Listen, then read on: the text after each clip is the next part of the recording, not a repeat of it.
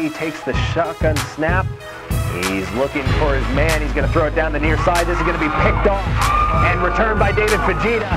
He's going to get all the way inside the 10, and he's going to sneak inside the pylon for a Bears touchdown.